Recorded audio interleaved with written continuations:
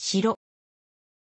城は敵を防ぐために土や石で堅固に築いた建物、設備。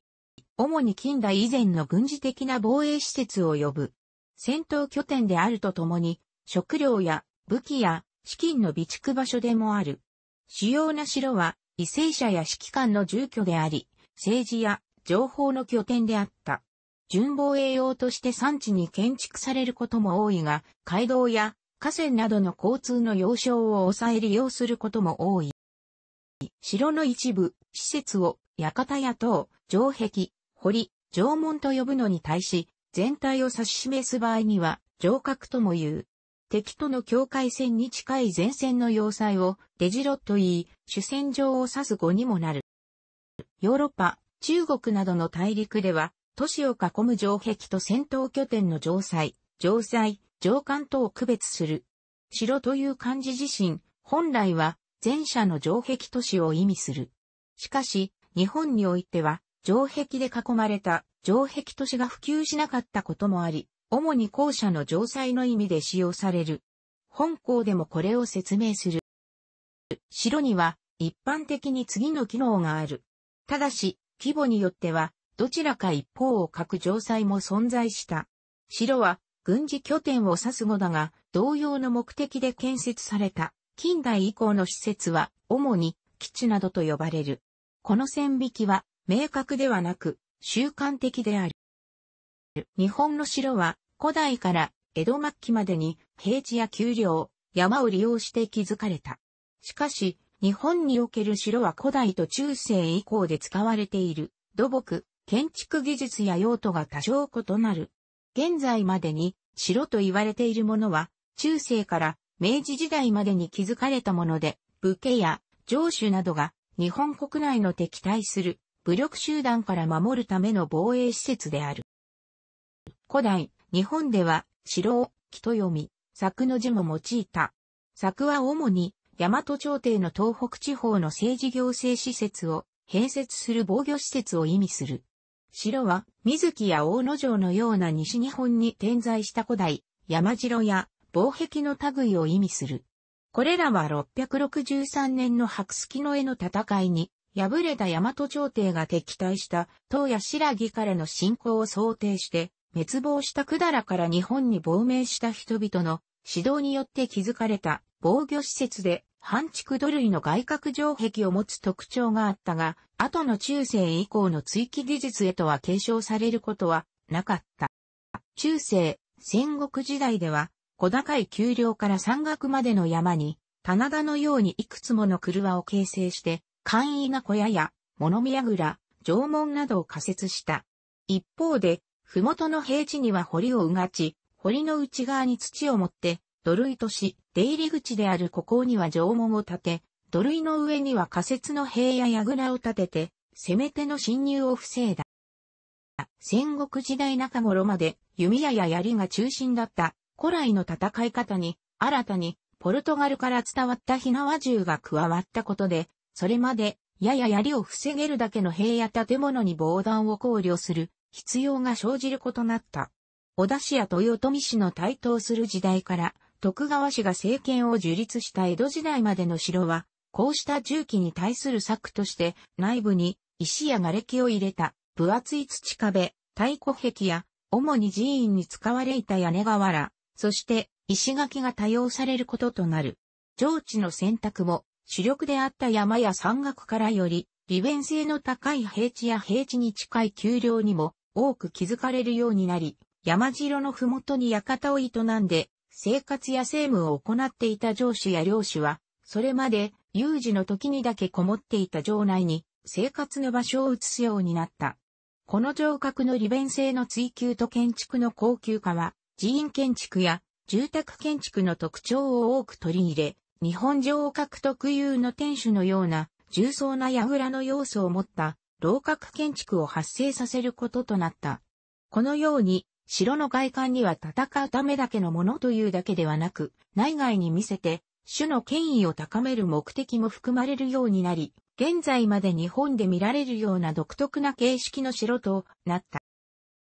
鹿児島県の奄美諸島及び沖縄地方の城は、グスク、またはスクと呼ばれるものである。12世紀、沖縄地方に点在していた領主のアジ、アジの居城で、城内に、ウタキ、ウタキや、ウガンジュ、廃所と呼ばれる、沖縄地方特有の信仰施設を持つ。もともと聖地のような土地を取り込んで築かれている。宮山時代に多くのグスクが築かれ、現在までに見られる多くのグスクはこの頃のものである。土木や建築の技術、特に石垣は日本内地の石垣とは異なり、琉球石灰岩を加工した石積みの石垣であって、外観も曲線をなして角さえも丸みを帯びている。また、中国や朝鮮半島で、馬面、マーミエニや、生地、地と呼ばれる横矢がかりの出張りや、縄文においては、廃炉や石像のアーチ門、くぬぎ川門が見られるなど、日本内地の城郭建築とことにする箇所が見られる。建築物では、日本城郭の二重櫓や、天守用な高層建築はなく、ぎっしりと建てられた社殿のほか、櫓としては、文状の櫓のみである。城塞の技術は、15世紀から16世紀の火薬、大砲、銃の活躍によって大きく変化した。有史以来の防護設備、砦、城、要塞の基本は壁と塔であった。壁により敵の侵入を防ぎながら、塔から高さを生かした攻撃を行うもので、重力を利用すれば、弓矢の威力は増し、単なる石や丸太も武器として利用することができた。攻撃側は壁を壊すための器具を工夫したが、いずれも大掛かりで時間のかかるもので、守備側の優位は硬かった。しかし、大砲、銃が使われ出すと、火薬を使った銃弾の威力は高さの優位を減少させ、大砲により高いが、比較的薄い壁は容易にぶち壊されるようになった。このため要塞と城の機能は分離されるようになり、要塞は高さより厚さを重視するものになり、永久要塞としては星型要塞が、野戦要塞としては残壕が主流となった。一方、城は防衛機能より居住性や壮大さや豪華さを重視した優雅で窓の多いものが作られるようになる。フランス語のシャトー、チャーテアウ、複数型シャトは日本語で城と訳されているが、荘園主によるものは、城郭というよりは、イギリス・アイルランドにおけるマナーハウスに相当する。中近東を含めた地域では、文明が起こり都市が形成されるとその周囲に城壁、囲い壁を巡らしていたが、これは町の防護と戦時の拠点とするためだった。古代ギリシアでは、アクロポリスが作られ、その影響を受けたローマ人も戦時は丘に立てこもった。こうした様相は、当時文明の中心であった地中海周辺ばかりでなく、例えば、ガイウス・ユリウス・カイサルのガリア戦記には、堅素な地形に築かれたガリア人の都市を攻略する様子が、たびたび登場するように広く見られるものである。首都ローマにも都市を守る城壁、囲い壁であるセルビウス城壁が築かれていた。また仮説であるが、ローマ軍団は進軍した先で十分な防御能力を備えた陣地を構築しており、これも城の一種と見ることもできる。高級的な基地としては、ティベリウスの親衛隊の兵舎が挙げられる。古代ローマの全盛期になると、もはや侵入できる外敵が存在しなくなり、都市機能の拡大に合わせて、城壁を拡大していく必要がなくなった。ローマ帝国の防衛は、国境線に築かれた防壁リメス並びに軍団及び、補給物資を迅速に投射できる、ローマ街道等の輸送路の維持によって行われていた。しかしながら、ローマ帝国が衰退する4世紀頃以降、ゲルマン人の侵入に対抗するため都市に城壁、囲い壁を築いて防衛する必要性が生じた。ローマ帝国最盛期には城壁を持たなかった首都ローマも全周約 19km、高さ8メートル、厚さ3.5メートルのローマンコンクリートで作られたアウレリアヌス城壁で防御されることになった。城壁の素材は地域や時代、建築技術の程度によって様々で、日干しレンガや焼きレンガ、石、木、土など様々である。なお、ガリア戦記に記されているガリアの城壁は木を主体としたものであ、北西ヨーロッパに本格的に石造建築が導入されるのはローマ開港のことである。ローマ帝国の最盛期には強固なローマンコンクリートで城壁、囲い壁や塔が作られるようになっていた。このように古代地中海世界を含めて10世紀半ばまでのヨーロッパには厳密に城と呼べるものは存在せず、主に都市や国を囲んで防御する城壁、囲い壁や塔が作られていた。西ローマ帝国の消滅後、古代ローマの建築技術は急速に失われ、土塁並びに木造の塔や柵が再び主流をなす時代が訪れた。10世紀、農業技術革命による生産力の上昇に伴い人口の増大と富の蓄積始まると、それらを守るための施設を作り維持する社会的余裕も生まれた。またカロリング朝、フランク王国が衰退、分裂して中央の支配力が緩み出し、ノルマン人やマジャール人の侵入が激しくなると、各地の領主は半ば自立して、領地や巨漢の防備を強化し始めた。当初は、館と付属施設の周りに、直径50メートルほどの塀を作り、堀を掘る程度だったが、10世紀の終わり頃から城と呼べる建築物を作るようになった。多くは木造の簡易なもので、代表的な形態がモットベイリー型である。平地や丘陵地域の周辺の土を掘り出して、堀を形成し、その土で小山と丘を盛り上げた。小山は粘土で固めてその頂上に木造、または石像の塔を作った。この丘は、もっと、もってと呼ばれる。また、丘の脇、または周囲の付属地を木造の外壁で囲んで、貯蔵所や住居などの城の施設を作った。この土地は、ベイリー、ベイリーと呼ばれた。これは、非常に簡単に建築でき、100人の労働者が20日、働けば建設できたと考えられている。このような城は、東西は、現在のポーランドからイングランドやフランス、南北はスカンディナビア半島からイタリア半島の南部までの広範囲に広がっており、特にフランスで多く使われていた。また、ほとんどの町も城壁を有する城郭都市となった。古い町の中には古代ローマ時代の城壁を再建、補強して用いた場合もあった。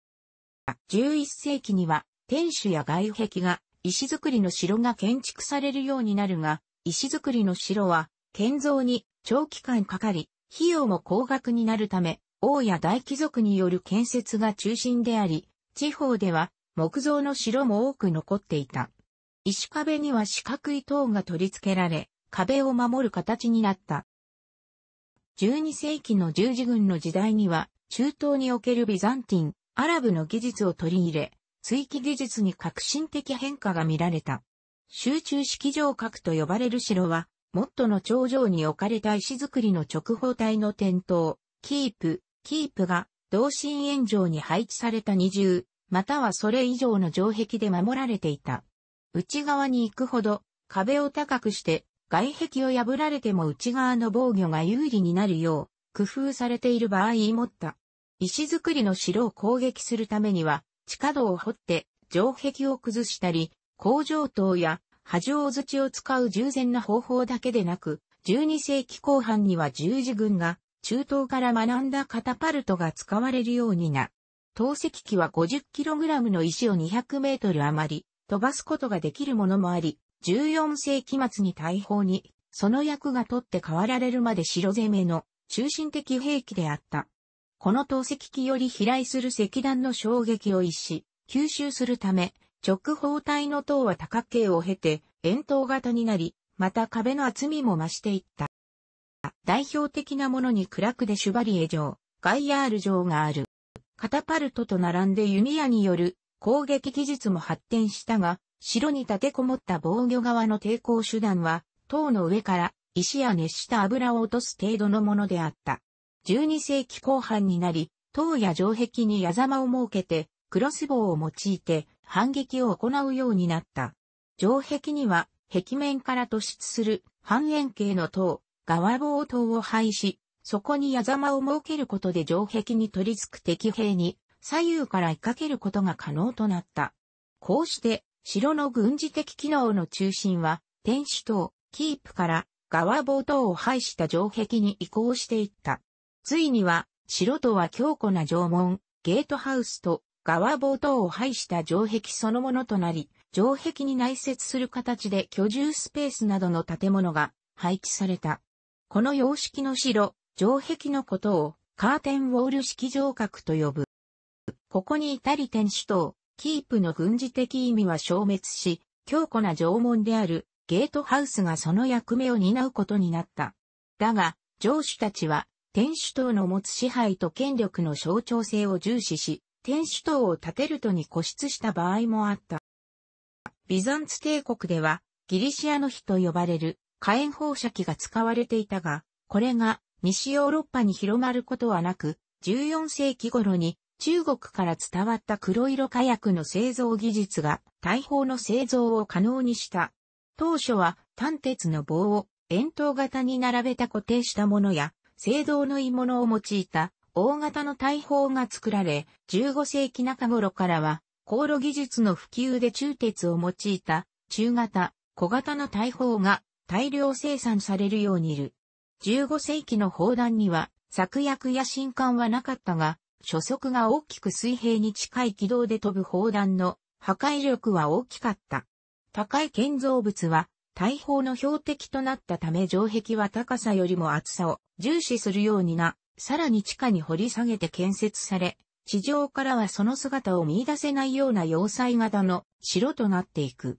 この形の城は最終的に星型要塞となった。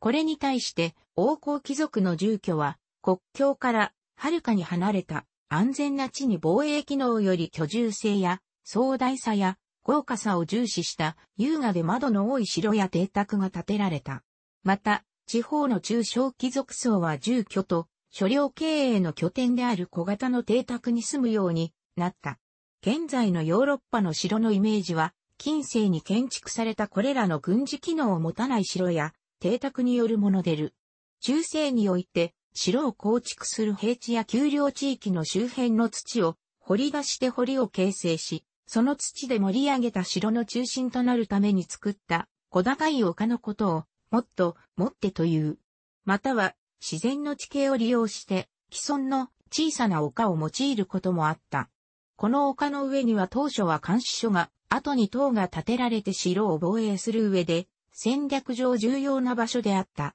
一つの城には一つのモットが標準であるが、のように二つのモットが作られた城もある。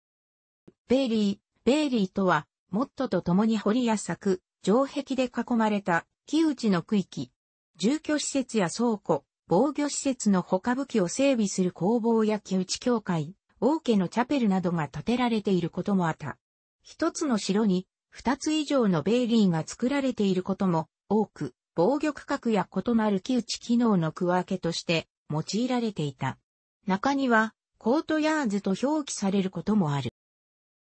キープ、キープとは中世ヨーロッパの城で中心となる建造物。モットの頂上に建てられ、当初は木造の塔が、後に石造りの塔が作られた。日本語で、首都、王塔、天守塔、またはフランス語読みのドンジョンと表記されることもある。初期のモットベイリー式の城郭であっても、モットの頂上は少なくとも木造の柳で囲まれており、時には塔や他の構築物で囲まれていることもあった。これらの木造の構造物が11世紀から12世紀頃には、キープと呼ばれる石造りの建築物とった。多角形の石造りの外壁で囲った方位建築物であるシェルキープが初期に多く見られ、後に2から3階建ての低い建物ホールキープ、ホールキープ、さらには3階以上の高い塔タワーキープ、タワーキープと発展した。キープの平面形状は、初期は四角形であったが、11世紀後期頃からは、円形、円筒形や、それに小塔をつけたもの、12世紀中頃には4つ、洋型、12世紀後期以降は、多角形のものが建てられるようになった。また15世紀頃以降、タワーハウスと呼ばれる居住空間をも包含した小型の城のような形態も現れた。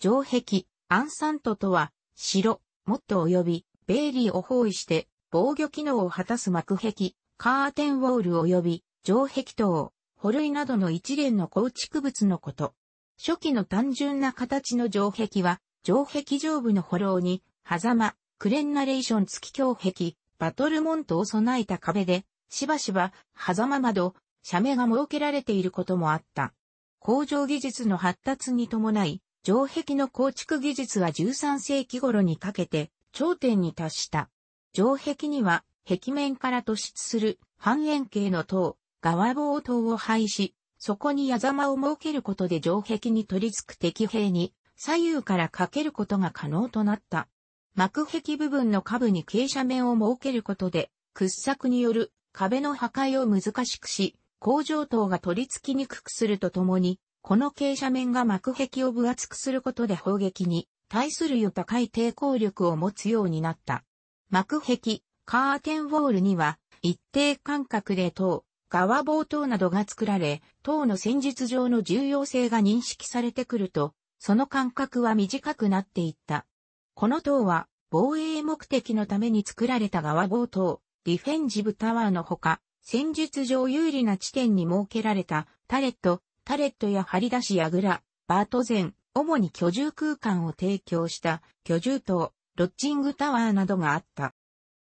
一部の城では、城壁や塔の頂上部に屋根状の木造構造物をかけたものもあり、これを矢倉、ホーディングスという。